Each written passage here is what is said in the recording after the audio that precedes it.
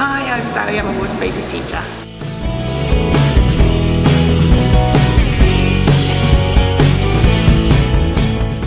Love water babies for so many different reasons, but I love being with the children and being with the parents and kind of seeing their little, different little family units and all the kind of little quirks of all the different families.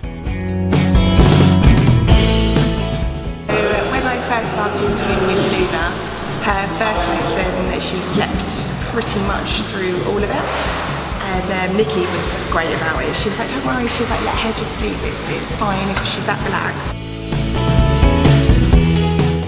Nikki is absolutely amazing. She was so, as soon as we got into the pool, she was so warm, so, just gave you so much reassurance.